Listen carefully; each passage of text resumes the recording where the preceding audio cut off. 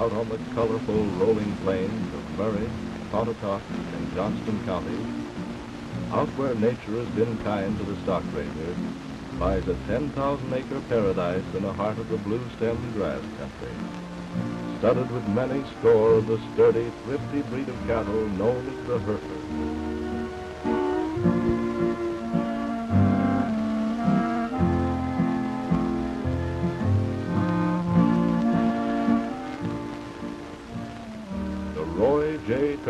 Hereford Ranch, where champions sire champions. Nestled back off the main thoroughfare which spans this Hereford headquarters, has been built an impressive and lasting series of buildings dedicated to the development and furtherment of the Hereford. The Roy J. Turner Ranch Home, modern and complete in every detail. This is the main show cattle barn, residence of prize winners and other outstanding individuals sired on the Turner Ranch.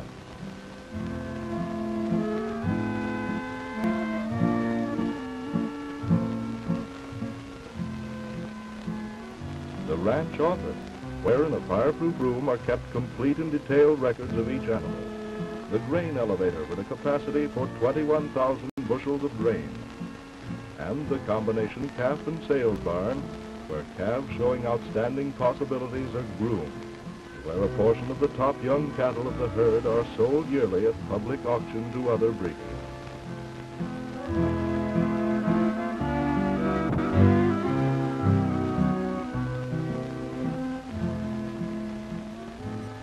This group of cows and calves at range is representative of the quality of Hereford being developed on the ranch.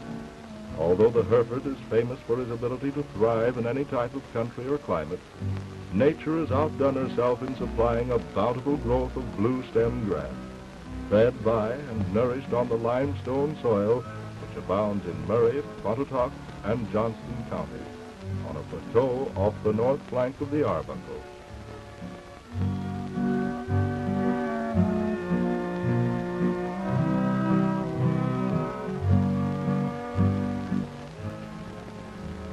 And calves and rolling plains.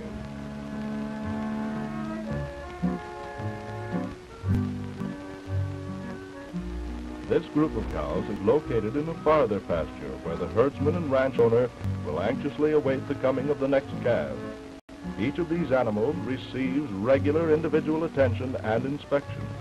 This care, together with the natural vigor and healthiness of the Hereford, makes for a sturdy and progressive herd. Another typical ranch scene.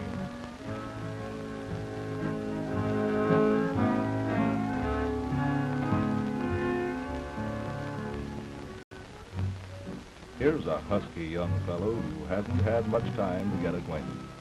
In fact, he'd never been touched by human hands before this picture was made.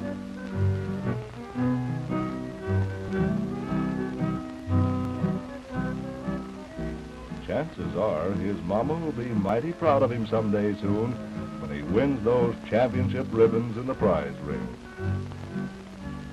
The gentleness of the Hereford breed is reflected even in the young. Just a few seconds of handling and petting assures this young rascal that everything's all right.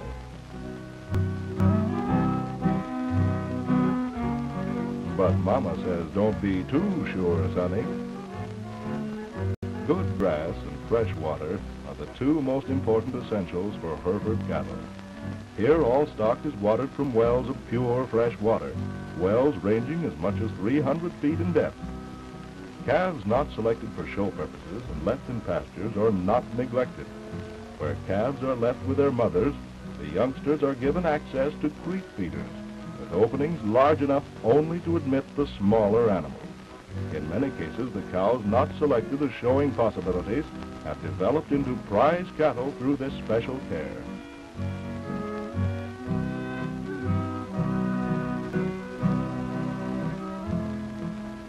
This is a typical representative group of young females who be turned into the pasture to replenish and improve the herd. Individuals like this lady will be watched expectantly for future champions.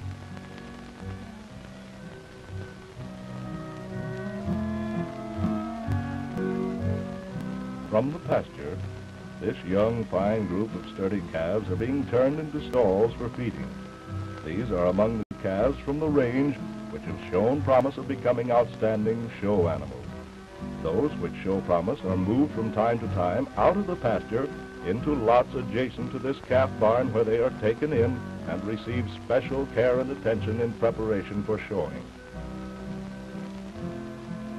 Regularly, four times a year, each animal on the ranch receives a blood test and other tests, including calf vaccination for protection against contagious disease.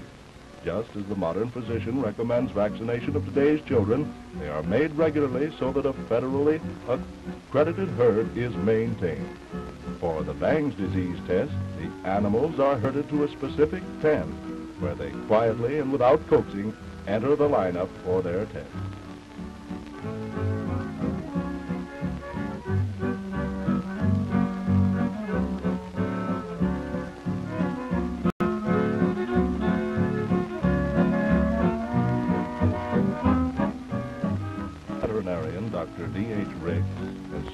The veterinary work and health tests for this herd since the time it was established.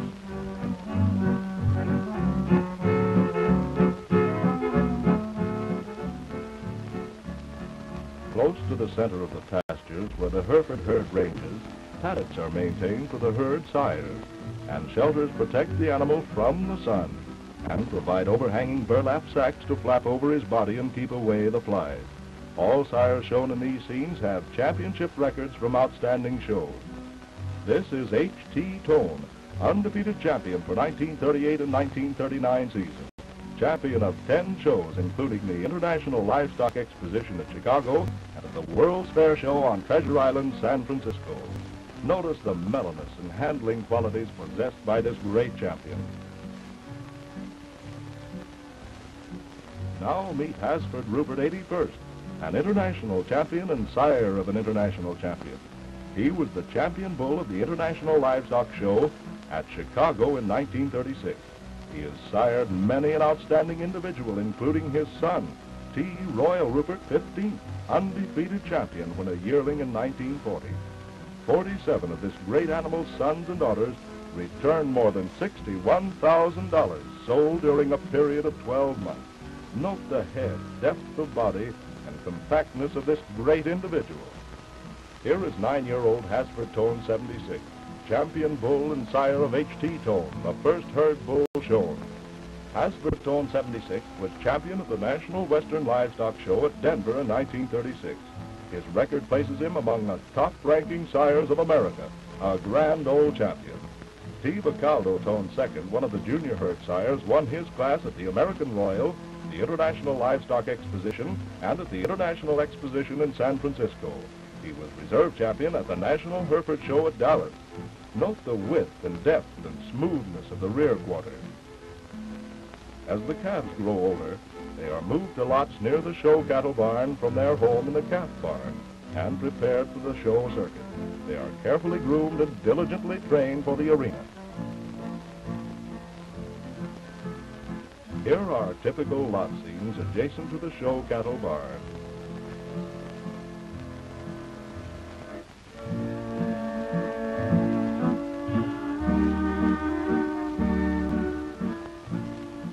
Well, look at these spick and span individuals. How on earth did they ever become so clean? Oh, so that's it. What is this, Saturday night on a Hereford ranch?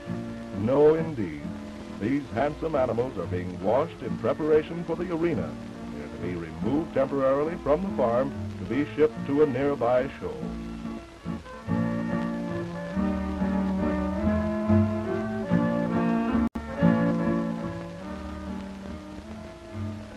Just look at that wave.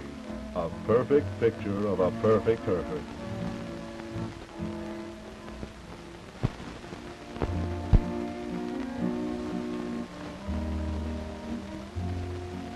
Clean, brushed, and polished, the animals are now loaded into a trailer truck to be taken to the railroad and shipped to the show ring.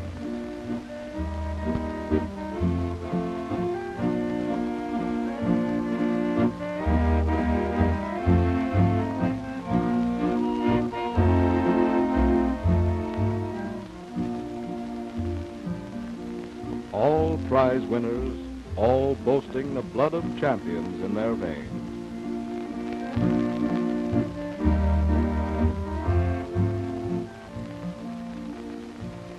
Main Frisco Railroad line bisects the Turner Ranch so that these animals actually do not leave their homes until they are safely aboard the cars.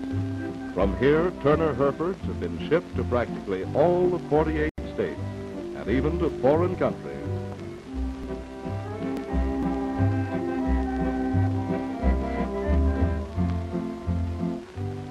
And so, away they go, away to the show on rails of steel, to return with more noteworthy records of accomplishment.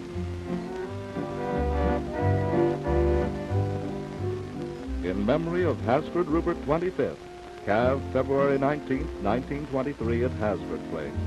Died May 25, 1938 at this ranch. An American Hereford Association Register of Merit sire.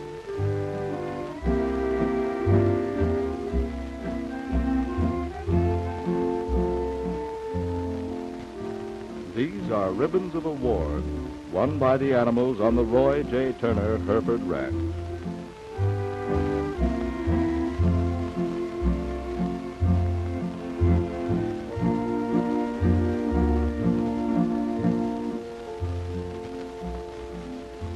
Blue and championship ribbons. Each animal must have won a blue ribbon to compete for championship. Only first prize and championship Turner Hereford winnings for two years are represented here.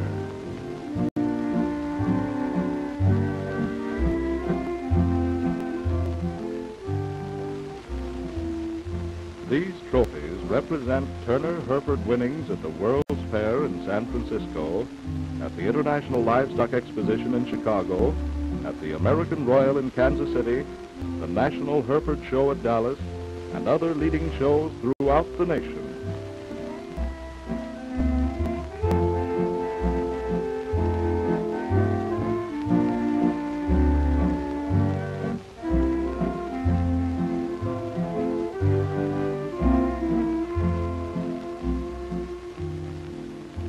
Each trophy represents a separate outstanding award at the nation's greatest Hereford shows.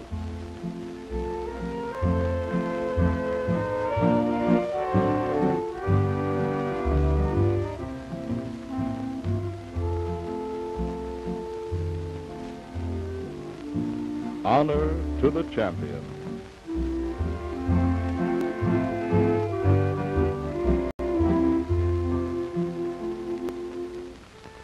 Our attention is turned for the moment from animals to activities. Activities with machinery. Here on the Turner Ranch, the hay harvest is one of the important yearly events. 30,000 bales of hay a year are mowed from the pastures. Surplus grass, unused and unneeded by the stock it raised. This equipment is capable of turning out 100 bales of hay per hour. A 10-hour day usually produces 1,000 bales of hay to be moved and stored in the hay barns located at convenient points on the ranch.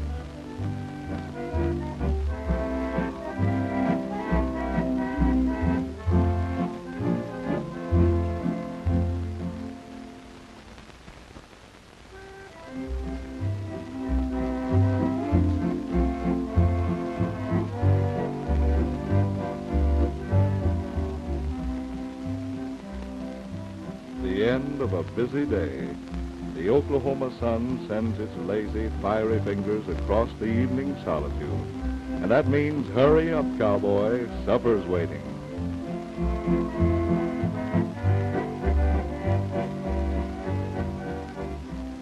So in from the fields they come, and it's rest time until sunup tomorrow.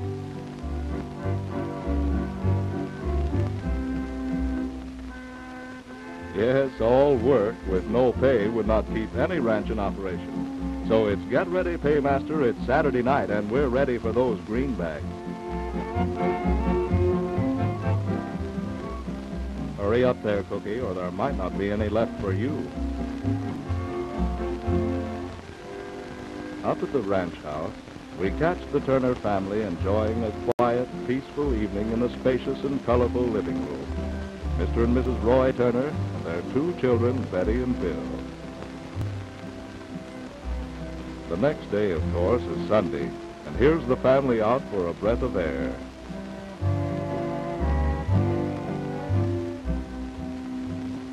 Freckles, the spaniel, is a favorite family pet, especially Betty's favorite. But Bill thinks that kitten named Susie so soft isn't a bit bad. Friends always find a cheerful and friendly welcome awaiting them at the Turner Ranch. With its many conveniences, with the advancement of modern transportation, the ranch is reached easily and quickly from the nearby towns of Ada, Sulphur, and Tishomingo. And it's only 100 miles from Oklahoma City, capital city of the Sooner State. These friends have been invited to enjoy a gallop with the Turners, and eagerly they accept. That's the Turner Ranch manager, Jim McClelland, and his wife, Mrs. McClelland, riding with the Turners and their children.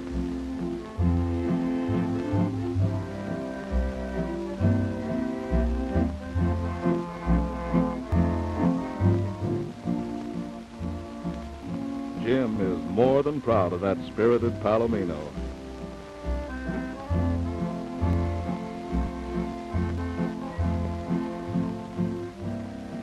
Young Bill thinks that there's a lot to be said in favor of that long-legged youngster.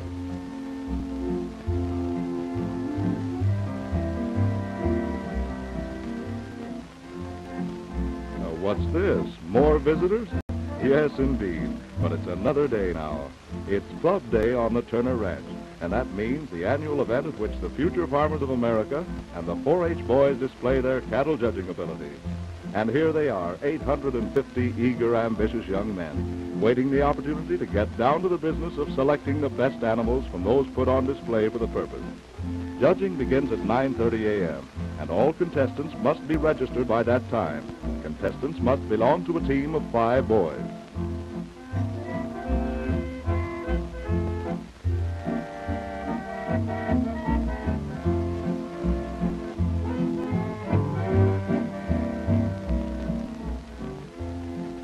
Doesn't take the boys long to find the well at the herdsman's house, and so it's a cool drink all around before the judging begins.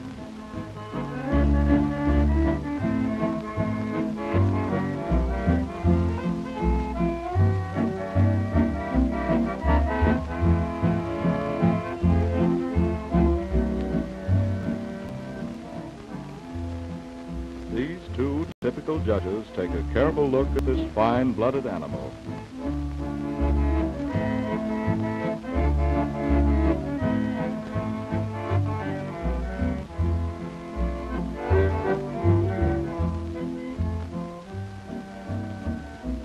Mr. R.J. Kinzer in the white shirt, Secretary of the American Hereford Cattle Breeders Association, and Dean W.L. Blizzard, Dean of Agriculture at the Oklahoma A&M College, Stillwater. Mr. Kinzer is the official contest judge. And look who else is here. It's Grandpa Orr, 90 years young, who traveled a 100 miles to be on hand for the big show. Besides the 850 boys partaking in the judging at this annual Turner Ranch event, their instructors and vocational teachers are also present to make up the total of the 1,200 guests. A mighty fine bunch of cattle these boys are inspecting, a mighty fine bunch of boys. America's future citizens. There's no direct competition between the FFA and 4-H boys as clubs. Members of one club are not competing against members of the other. Each organization conducts its own contest, and separate prizes are provided for each distinct group. You can tell by the expressions of these faces that the boys are up against no easy proposition. Divided into five squads, each squad is allotted 12 minutes to each pen. Then they must move on to the next pen after turning in cards on the pen just judged. From 10 to 12 classes are judged, from calf classes to cows brought in directly from the pasture.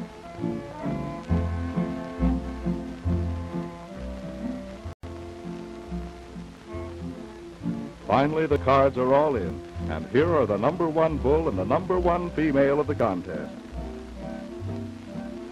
These two animals used in this contest are a two-year-old champion cow and her son, a winner of one of the classes.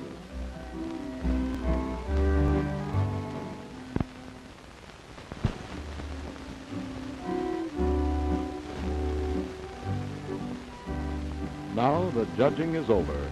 850 hungry boys are on the march.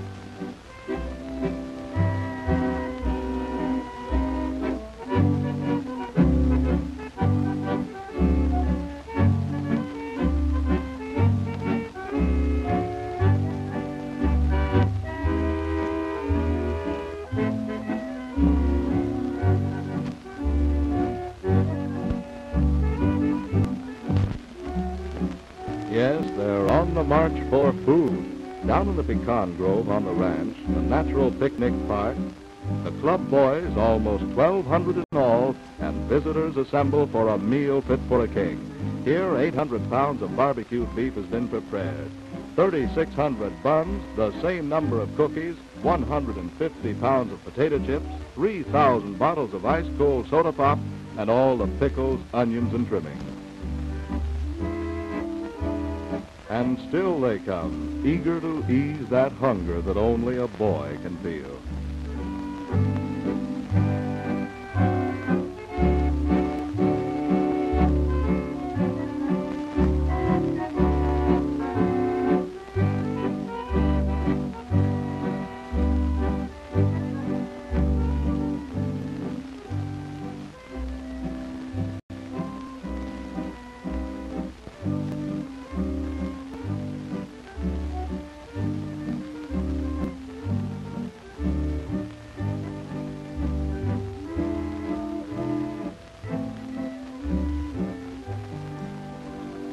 Down there, Sonny. That's your second helping, but there's more where it came from.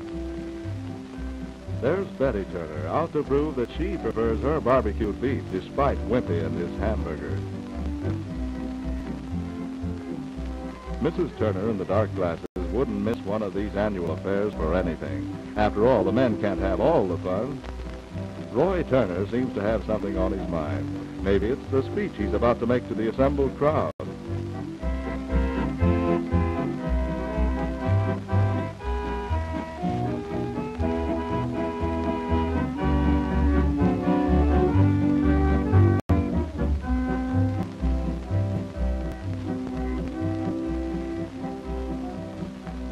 Mr. Turner welcomes the club boys and the club day guests to the Turner Ranch, congratulates the boys for their fine efforts, and introduces the guest of honor.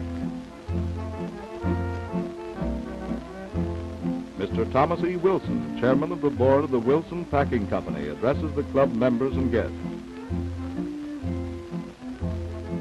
And a personal message is extended by Mr. Wilson's son, Edward F. Wilson, president of the Wilson Company.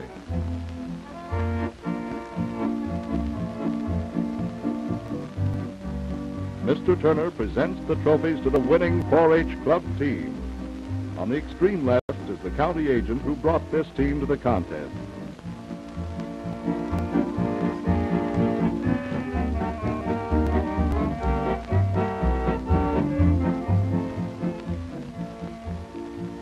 And another trophy is accepted for the team by the vocational teacher of the top-ranking Future Farmers of America group.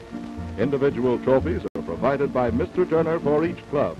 Cash prizes are offered the winning teams and to several teams and individuals turning in the most commendable score.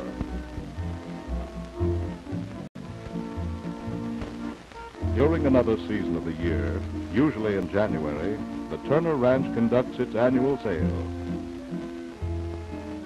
A selected group of the younger top animals are offered at public auction to other breeders.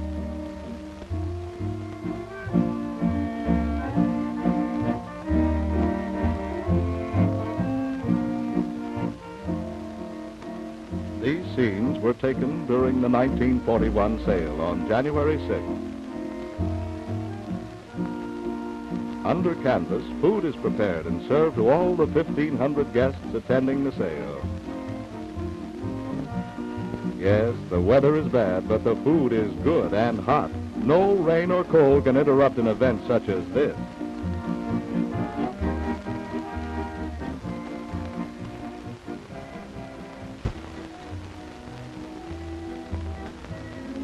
Portable bleacher is located inside the cattle sales barn. These movable seats are easily set up and taken down, constructed especially for sales events.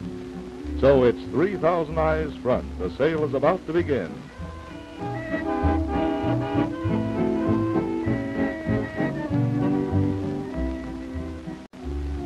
Here is Colonel Art Thompson, auctioneer for the sale, who calls upon the ranch owner, Roy J. Turner.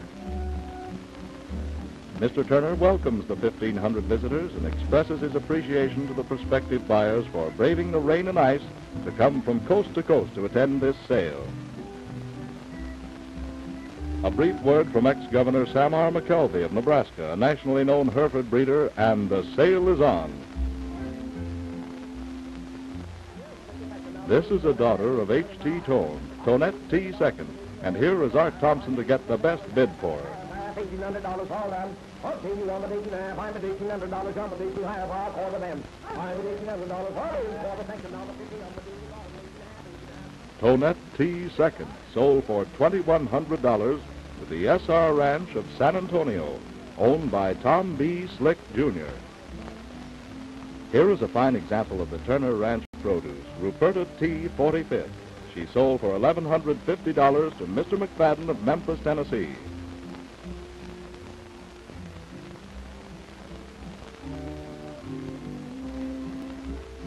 T. Royal Rupert 40th. This seven-month-old bull is a full brother of T. Royal Rupert 15th, undefeated 1940 champion. This brought $3,200 from James M. Brook of Brady, Texas. At auction is T. Royal Rupert 30th, a promising seven-month-old calf who will help promote the Hereford herd owned by Warren Bulkley of Plano, Illinois. Mr. Bulkley paid $3,050 for this handsome son of Hazford Rupert 81st. Another magnificent animal on the block today is Tone T. 44th, a son of Hazford Tone 76. This yearling bull brought $2,500 and was purchased by Claude Hurd of Beeville, Texas. Another son of Hazford Tone 76. This is Tone T. 53rd. He was bought for $1,250 by Mr. M. N. Scott of Dryden, Texas, to turn on the range west of the Pecos with commercial cows.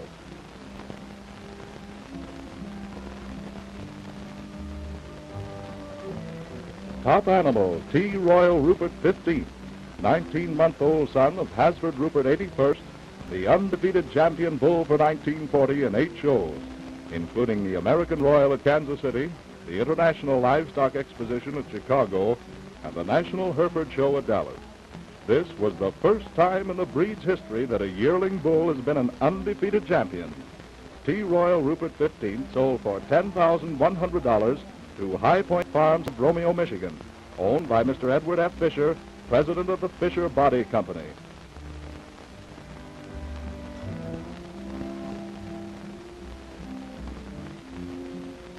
This 1941 sale of 49 head brought a mean average of $1,063 per head. Although this was a special offering of a portion of the ranch's top young cattle, the ranch regularly sells produce at moderate prices to breeding establishments and ranchers.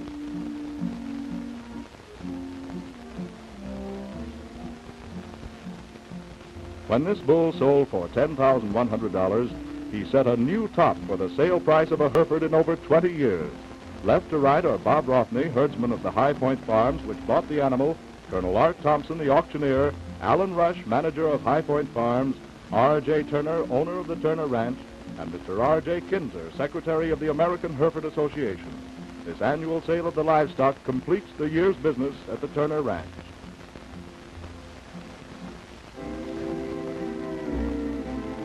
And so our brief visit completed, we take our leave of the Roy J. Turner Hereford Ranch from the ranch's own airplane landing field. Yearly, many visitors find a welcome here, and an open invitation is extended to everyone to visit and inspect at first hand this excellent herd of the famous cattle known as Hereford. The Roy J. Turner Ranch address is Sulphur, Oklahoma, the home of Platte National Park in the heart of the blue stem grass country, where champion sire champion.